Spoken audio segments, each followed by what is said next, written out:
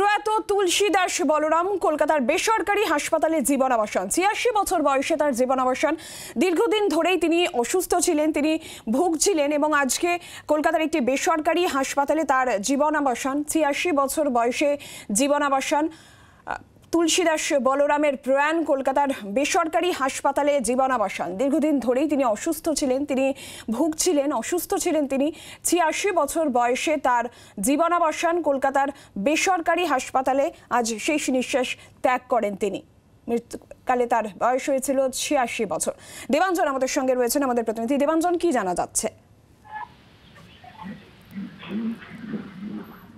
দেবাঞ্জন, কি জানা যাচ্ছে?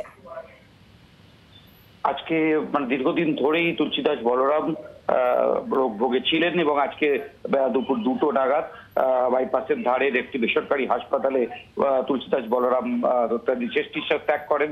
ডিসেম্বর মাসের শেষ থেকেই তার শরীর অসুস্থ ছিল এবং তারপরে তাকে হাসপাতালে ভর্তি করা হয়েছিল। এবং তুমি সবসময় আমরা সকলেই জানি যে ভারতীয় ফুটবলে যে ব্রহ্মা, বিষ্ণু, মহেশ্বর বলা হয়, অর্থাৎ চুনি, পিকে, বলরাম, সেই চুনি এবং পিকে আগেই চলে গিয়েছিলেন এবং আজকে চলে গেলেন তুলসী দাস বলরাম যার ফলে বলা যেতে পারে নীলাঞ্জনা যে একটা যুগের পরিসমাপ্তি হলো।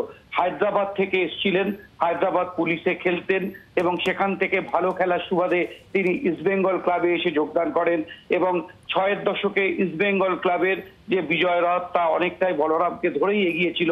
পরবর্তীকালে ভারতীয় দলের হয়ে বলরাম অন্যতম সেরা ফুটবল খেলে গিয়েছেন। আমরা জানি যে ষাট সালে রোম অলিম্পিকে বলরাম হাঙ্গেরির বিরুদ্ধে তার একটি গোল ছিল ফাইনাল রোম অলিম্পিকের ফুটবলে এবং ভারতীয় ফুটবলে যে কদিন ভারতীয় ফুটবল বেঁচে থাকবে, সে কদিন কিন্তু তুলসী দাস বলরামের নাম স্বর্ণাক্ষরে লেখা থাকবে। নীলাঞ্জনা। দেবাঞ্জন, এই জায়গা থেকে একটা বিষয়ে জানতে চাইব যে, যেটা জানতে পারা যাচ্ছে, দীর্ঘদিন ধরেই তিনি অসুস্থ ছিলেন, তিনি ভুগছিলেন, পরিবারের তরফ থেকে এখনও পর্যন্ত কি জানানো হচ্ছে এই বিষয়ে, তার শেষকৃত্যের বিষয়ে কি জানানো হচ্ছে, পরিবার কি বলছে?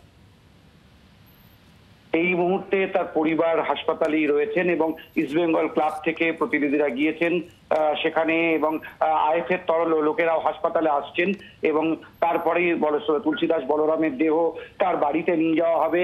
বা এখন জানা সম্ভব নয় যে তুলসীদাস বলরামের দেহ তার প্রিয় ক্লাব, যে ক্লাবের হয়ে তিনি অনেক ঘাম রক্ত ঝরিয়েছেন, সেই ইস্টবেঙ্গল ক্লাবে নেওয়া হবে কিনা? কারণ অতীতে তিনি একবার বলেছিলেন যে তার মৃত্যুর পর তার দেহ যেন ইস্টবেঙ্গল ক্লাবে না নিয়ে যাওয়া হয়। দেখা যাক যে সেক্ষেত্রে তার ইচ্ছা, মর্যাদা পায় কিনা।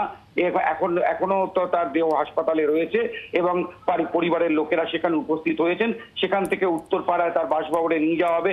তারপরেই তার শেষকৃত্য সম্পন্ন হবে। বাংলার আওয়াজ, বাঙালির আবেগ। জি, চব্বিশ ঘণ্টা।